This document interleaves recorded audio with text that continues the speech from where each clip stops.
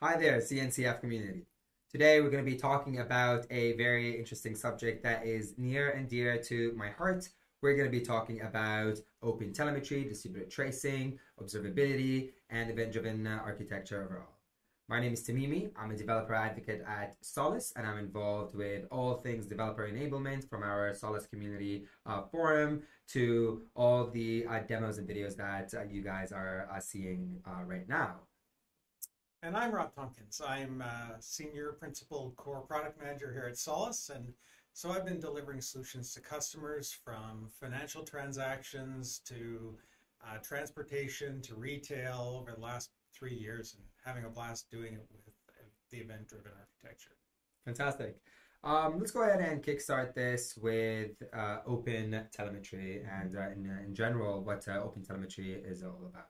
So, Rob, can you please tell me a little bit about open telemetry, how it fits within uh, CNCF, and uh, the overall open uh, telemetry, or what we're going to be calling OTEL throughout the video? How does it fit within CNCF? So, uh, OpenTelemetry or OTEL is the second largest project within CNCF. There's mm-hmm. a lot of great interest in it because what OpenTelemetry really lets you do is provide you a way to normalize your uh, tracing and telemetry information into a standards package mm-hmm. that could be distributed to pretty much any observability tool out there. And you know, observability has been around for many, many years at this point and uh, it just continues to grow and is becoming an integral part of most enterprises' infrastructures. And uh, as we know, observability has uh, three main pillars uh, to it. We've got the traces, logs, and, metri- and metrics within uh, observability. And uh, we will be talking more about traces and, in particular, distributed tracing. As Rob has mentioned, OTEL has a very big open source uh, community uh, behind it that uh, supports it, and we will be referring to this uh, open source uh, community throughout the uh, content. So um, let's delve a little bit more into kind of event-driven architecture and you know what event-driven architecture is all about and how we can blend in these two worlds between open telemetry and event-driven architecture and what are the advantages for these kind of things. So we'll start with event-driven architecture in, in general. Right. So event driven architecture is a very hot topic. It was huge at AWS reInvent, you know, core to um, cloud native capabilities. And uh, really, it's about uh, decoupling your applications and your uh, APIs and letting any type of application or service talk to any other type of application over a uh, constant um, messaging infrastructure. And to do that in an asynchronous manner or based on events, uh, thus event driven architecture. And really, it's built around a mesh of brokers. And we deploy brokers in the uh, event driven architecture to move messages along uh, to their to their target de- destinations. And there are many, many different types of attributes and use cases for this kind of technology. So, for example, uh, you, you could use the event driven architecture for analytics. And this is very commonly uh, done today to communicate uh, different types of information between different services to analyze your business information and mm-hmm. provide guidance going forward or make recommendations or do uh, security checks and look for security vulnerabilities are all kind of done in sort of an analytical um, event-driven architecture. There's also uh, a uh, an operational use case around event-driven architectures where you're trying to combine the many, many different components within your uh, enterprise so that they all work in unison, no matter what protocol, no matter what iPaaS, what cloud native service, uh, what um, API you're choosing to use, it all can work and talk to each other over top of an event driven architecture. And in these cases, sometimes you're doing it, you're using the event driven architecture for uh, very low latency and you're doing direct messaging. Other times you're really looking to get persistence and uh, have messages stored by the event-driven architecture such that uh, they uh, persist beyond when uh, you know a consumer goes up or down. it's they're waiting for that consumer when it returns. Thanks, uh, thanks, Rob, uh, for this uh, overview on event-driven architecture. And you know, as as you mentioned uh, earlier, one of the uh, key advantages of uh, event-driven architecture is you can connect different microservices and different applications within your system, whether you're having uh, legacy uh, mainframes or legacy infrastructure in your system, or you have IoT devices, you have microservices that are communicating with different protocols, different APIs, so there's different languages as well that is involved in an event-driven architecture. So truly, when you think of an event-driven architecture from an enterprise uh, level, or even kind of like a real-world use cases, it is pretty complicated. There's a lot of like complicated things, there's a lot of moving parts uh, in there which which means that the underlying messaging system and the messaging infrastructure that is that you're using to power your event-driven architecture should take into account this variability in your system, where it should support the uh, variability in protocols, messaging protocols, APIs, languages, and all the different kind of ways you can connect uh, things in your event-driven uh, architecture. So um, when when someone needs to kind of implement and deploy uh, an event-driven architecture, those are the, the factors that you got to take into account. Is how do you work with all the, this different uh, variabilities? You did mention as well the concept of um, cloud native uh, solutions. So this is also another thing you got to take into account is if you want to adopt an event-driven architecture strategy in your uh, system, you got to ask yourself questions like, how do we make sure that my on cloud and on ground uh, data communicate with each other? You have different form factors. Uh, if you have, for example, uh, data residency requirements and the data needs to be in a particular um, country or region, how do you make sure that there's cross region communication? And this is where the concept of an event mesh comes in, where Rob uh, mentioned earlier, which is a network of interconnected message brokers uh, together. All right, so this is great. Uh, we talked a lot about uh, event-driven architecture and open telemetry. Now let's try to kind of say, you know, we, we mentioned previously the, the importance of open telemetry, the importance of uh, observability, and how uh, you know if you have an observability strategy in your um, in your in, your system, then you're already ahead of the game by at least collecting as much information as you want. But now, if you have an event-driven architecture and you want to deploy a, a distributed tracing uh, strategy into your event-driven architecture, uh, there's so many things that you got to take into account, and it's a pretty challenging uh, thing to to approach. So before we delve into you know the, the solutions for these kind of things, let's first talk about why is it hard to observe an event-driven architecture? What are the challenges behind implementing and introducing observability in an event-driven architecture?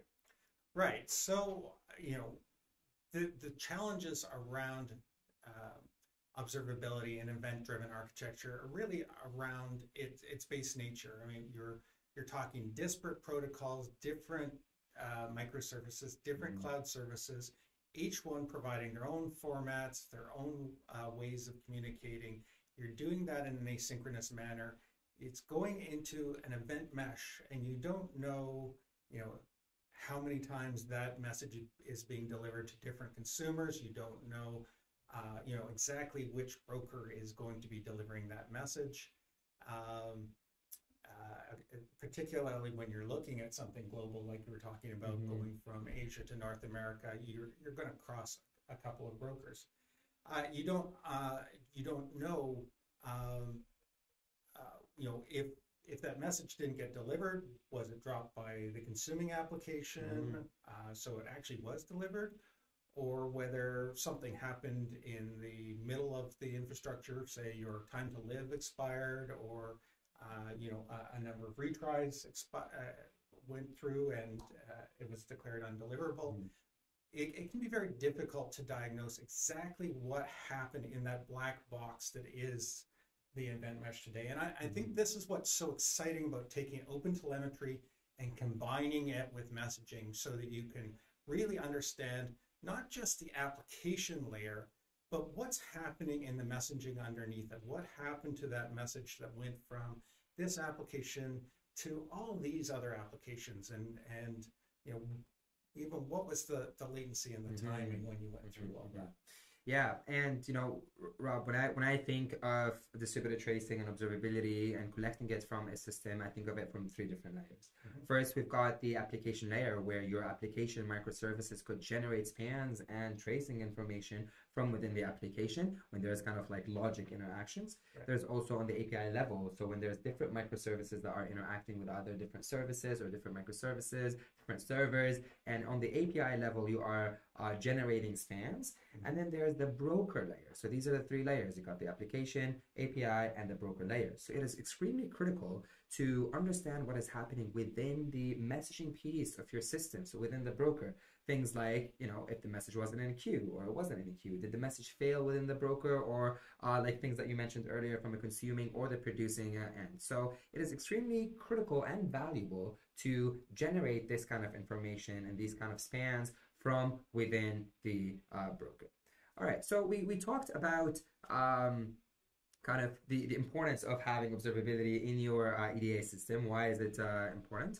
And, uh, you know, I, I do want to give a shout out to the open telemetry community in general for all the work that they do from an open source uh, perspective. And one of the open source initiatives that the open telemetry uh, community has is the open telemetry collector, or the OTEL uh, collector, which is um, you know, something that is extremely powerful since it's backed by open source and by the community. Uh, so, Rob, a question for you. If I do have a, uh, a message broker and I would like to enable it for generating distributed tracing information in my uh, system, what is the approach that I need to take considering open telemetry collector and to, to have this support for observability in my EDA infrastructure? Right. So that that's a that's a great question. What you need to be able to do is you need to be able to try tie that messaging infrastructure in with the application infrastructure, and you do that as you were saying at the API layer. Mm-hmm. So here, what we do is context propagation, which is a capability that is provided by OpenTelemetry and allows us to propagate information from one layer to the next. And basically, what we do is take that information like trace ID, there could be baggage, and other context and put it into the event itself. So mm-hmm. it's being carried along with the mess with the message as it goes through the data path, and it gets modified at each span along the way that's generated. And and so each broker generates spans as the message uh, passes through it, uh, usually multiple spans. So, for example, you might have a receive span that it records when the message was re- received and then how long it took before it was enqueued. And it could be enqueued in many different queues within that broker. And then from the uh, from uh, that point, you could generate a send span for every single one of those messages that's enqueued. And it, the send span will tell you, you know, uh, when that message was sent to the consumer and what response was received, how long it took to get receive that response, so that you can track, you know, that delivery and understand whether it was successful or not, why it failed, if it failed, and the timing um, resulting from all of that. Okay. And those spans are uh, collected by the broker mm-hmm. and packaged up into messages that get sent into the OpenTelemetry collector that you mentioned. And in the OpenTelemetry collector, you've got um, the ability to feed in uh, OpenTelemetry protocol, but you also have the ability to embed receivers. And receiver will take you know a proprietary protocol and convert it into open telemetry It does uh, processing of that. It'll do filtering if you want it to do that, and then uh, hands it off to exporters either through OLTP or an embedded exporter for whatever observability tool the customer has chosen. And there's such a wide variety of those mm-hmm. um, that the collector is really a key attribute of, of a distributed tracing system because it enables kind of an any destination from an observability standpoint. Right. And the open telemetry community has worked so hard in standardizing this process and making sure that there is a standard that is followed in the industry for uh, traces and as it go through. And the advantages for this right now is you know, regardless what observability backend you have, whether it's Jaeger, Datadog, Dynatrace, to name just a few, and we're just scratching the surface here, is you can take all these traces that is generated by the OpenTelemetry collector and stitch them in the way that you want within your observability uh, backend. And that way you can have, again, a standard way to processing these traces that are generated from the OpenTelemetry collector. All right. Well, this is uh, great from you know being able to uh, do uh, distributed tracing in an event-driven architecture. So let's assume right now I am an organization and I am way ahead of the game. I I know that it is important to have an observability strategy in my system. I know that I need to use an event-driven architecture strategy as well uh, for my uh, solutions. What are the advantages of having an uh, distributed tracing supported event-driven architecture that I have? What benefits would I get? uh, from investing in enabling my EDA with distributed tracing? So there are really four major benefits. Mm-hmm. Uh, so first of all is debugging, which is kind of the core use case of of tracing, uh, which allows you to uh, debug your your application when you're building it in a dev environment and understand exactly how that message flows. Is it flowing exactly the way you design the application to, and and to validate that. On the flip side, you can take that same capability into operations and do troubleshooting. When something's going wrong, you can look at your traces and understand, okay, this is what was going on with that application. These messages were going to where they were intended, or there was something wrong there, and, and to figure that whole thing out. Third is the ability to monitor and optimize. So this allows you to step back and look at your event mesh and understand what's happening with your event mesh, how long is it taking to get to different places in your event mesh, mm-hmm. even optimize things like your topics within your event mesh. If the same messages are on different topics but going to the same destinations, you can combine that and, and simplify things, for example. Or maybe you want greater granularity, and so you build out your your your topics um, that way. And, and, finally, last but not least, uh, we've got data lineage, which in this context really go, boils down to proof of delivery. So, you know, can you tell the application uh, uh, developer what really happened with that message and guarantee that a particular message got all the way to the end? What happened to an individual message? Um, you know, it's really proof of uh, of innocence and and and how how fast can you demonstrate to uh, the application team that the event mesh is working right or get to um, an understanding of you know what really went wrong and and uh, how to fix that this all is uh, is great uh, input. Thanks uh, rob uh, for this. And what i really think would make this come to life even more and have it more exciting is a demo. So um, another thing that I really like about the open telemetry community is apart from standardizing things, working so hard from an open source uh, perspective, they have developed this uh, OTel uh, demo, which is a very interesting and neat uh, demo uh, that is that has pretty sophisticated uh, moving parts in there, and you can check it out by going to the Open Telemetry's website and checking out the demo. This demo is uh, basically an uh, e-commerce uh, application that has different moving parts between a front end, back end, accounting services, fraud detection, all the different kind of uh, moving parts within an e-commerce system to kind of reflect what a real use case of an application could be. And they added on top of that distributed tracing through all the different moving parts so you can see the context being propagated of a message or an event that is happening in your system uh, throughout the different moving parts. What has been added as well to this uh, demo is a messaging piece, and that messaging piece is being demonstrated by having a Kafka broker uh, in the in the mix. What we did here at uh, Solace is we've taken that uh, demo. Uh, it is open source on a GitHub repo. Uh, we've forked it and we've added a Solace component to it. So now you can run Kafka and Solace hand in hand doing the uh, same activity. And through this uh, demo, you can publish messages to your Ka Kafka broker and to your Solace uh, broker, and you can see all the extra details that we were talking about, what happens within the message broker. So instead of seeing the broker as a black box in your system of a message going in and a message going out, you can even delve more and do like surgery within your uh, uh, message broker and kind of see what queue did the message go to? What happens within the broker? Uh, did it send it to the uh, final kind of uh, consumer or not? So it really adds more light uh, and color to your EDA component of your overall uh, system. So um, stay tuned. I will will show you where you can uh, take a look at uh, this demo so you can run it uh, on your own uh, local machines and play around with uh, event-driven architecture and distributed tracing. So that's that's what we have uh, for you folks for uh, today. We hope this was uh, pretty informative. We did talk about open telemetry, distributed tracing, event-driven architecture, and how we can implement distributed tracing within event-driven architecture. And lastly, the demo piece that is available to bring all this uh, to light. So uh, thank you again for uh, listening. Rob, thank you very much for all the content and information that you you provided. I think that was pretty pretty informative and interesting. Thank you Tamimi, and thank you for all your work on the, the, the demo from a Solace standpoint.